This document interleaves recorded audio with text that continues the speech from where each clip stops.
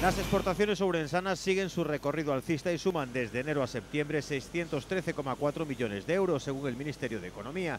Eso supone mejorar un 4,9% la tasa interanual, lo que sitúa a Ourense como segunda provincia gallega en porcentaje de subida, detrás de A Coruña, pero por delante de Lugo y de Pontevedra. El buen nivel de las ventas exteriores se apuntala pese a que en el mes de septiembre las operaciones cayeron un 4,5% sobre el mismo mes del año anterior, sumando 67,7 millones de euros.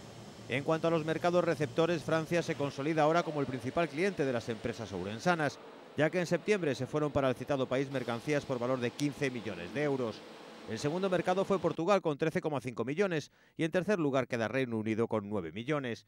Fuera de Europa, México se sigue reivindicando como un mercado en constante crecimiento, sobre todo gracias a la industria textil. En este caso, en septiembre se exportaron al país azteca 2,6 millones de euros. La pizarra sigue siendo el producto con más aceptación internacional, con 19,3 millones de euros vendidos. El segundo sector ha sido el tecnológico con 11,6 millones, para quedar en tercera posición la industria textil, que vendió 2,9 millones de euros en el noveno mes del año.